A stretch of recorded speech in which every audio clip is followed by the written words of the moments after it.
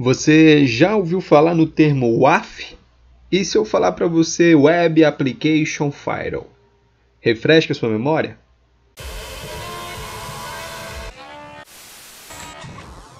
Olá, seja bem-vindo ao Guia Anônima e hoje iremos falar sobre o WAF, ou Web Application Firewall. Esse que é um termo muito utilizado na área de segurança da informação, infraestrutura e desenvolvimento o AF está se tornando cada vez mais popular por diversos motivos, mas um deles é pela mudança de paradigma na parte do desenvolvimento de um software. Mas bem, vamos entender primeiro o que é um AF para depois a gente explicar o porquê de toda essa mudança e quais são os benefícios do Web Application Firewall para a sua aplicação. O WAF nada mais é do que um sistema que fica entre o seu site, o aplicativo, o serviço web e o restante da internet. Ele funciona como uma barreira que bloqueia ou protege o seu servidor contra ataques, sendo ataques como DDoS, spams, injeção SQL e outros tipos de cyberataques. Ele também tem sido muito utilizado para proteger é, blogs, sites, e-commerces e aplicativos de celulares que ficam localizados é, na web. Mas vamos lá, agora você já entendeu o que, que é o AF. Beleza, mas por que essa mudança de paradigma? O termo APK é semelhante para você? O ponto APK para o aplicativo? Bem, hoje a gente vê que quanto mais o tempo passa, menos as pessoas instalam aplicativos com frequência.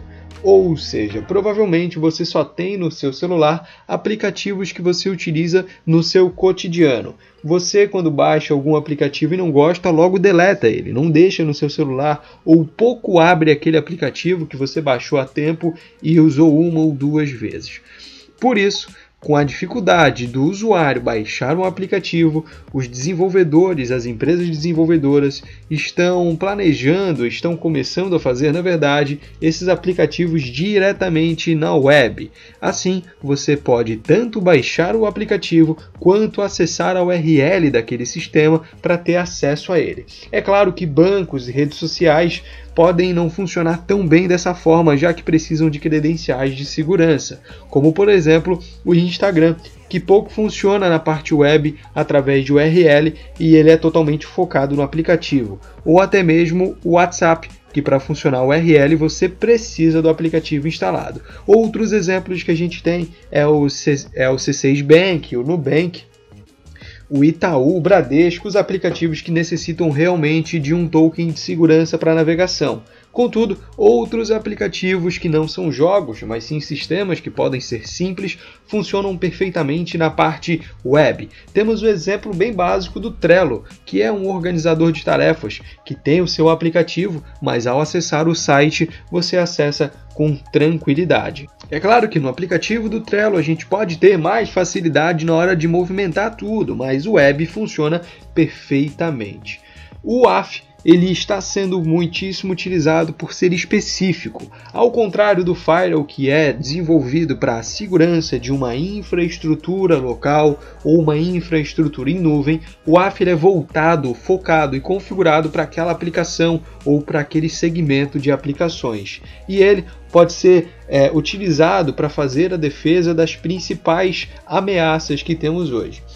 Se o AF for bem configurado, ele pode é, interceptar ou simplesmente negar ataques como injeção de vírus, quebra de autenticação e sessão, cross-site scripting, o famoso XSS, quebra de controle de acesso, perda das configurações de segurança, exploração de dados sensíveis, ataque de insuficiência de proteção, é aquele ataque que você é quase um DDoS, onde você ataca, ataca, ataca até ver que a proteção para de funcionar.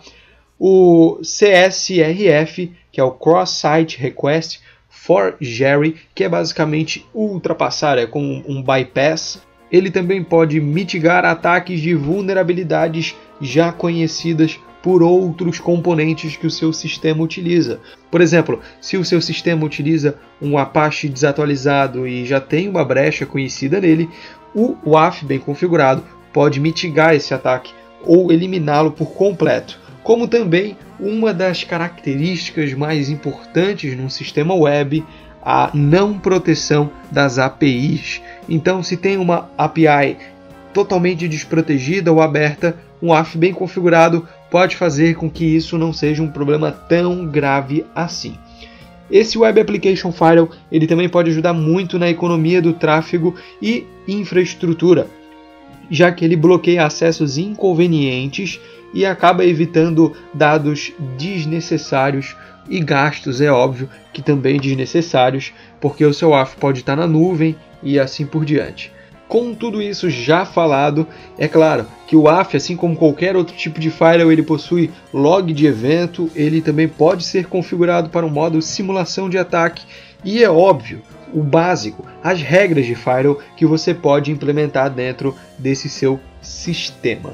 Então, basicamente, esse é um AF. E é claro que esse foi um vídeo extremamente simplório. A gente falou por cima do AF, do que, que é esse sistema de segurança que vem se tornando cada vez mais comum a ser utilizados a ser utilizado por empresas de desenvolvimento de software ou empresas que possuem sites importantes, e-commerces e etc. Mas o AF ele não é impenetrável. Como você bem sabe, não existe sistema 100% seguro. Portanto, hoje as ferramentas de ataque de pentest já estão aptas a burlar, a dar um bypass, a enganar um AF bem configurado. Então, se você gostou desse conteúdo, deixe aqui nos comentários sugestões para que a gente traga conteúdo sobre Web Application Firewall um pouquinho mais específico, um pouquinho mais fundo no assunto, para que você que tenha interesse nesse assunto não fique lesado sem esse conteúdo de qualidade aqui no canal. Muito obrigado, deixe o seu like, se inscreva no canal e compartilhe nas redes sociais. Não esqueça de assistir os nossos vídeos já postados anteriormente. A gente tem muito vídeo e muito conteúdo interessante. Não se esqueça que nessa semana a gente tem vídeo durante toda a semana, de segunda a sexta, e no sábado, dia 14 do 12, às 9 da noite, terá uma live especial aqui no canal com convidados para a gente falar sobre a retrospectiva da segurança da informação em 2019. Muito obrigado e até mais.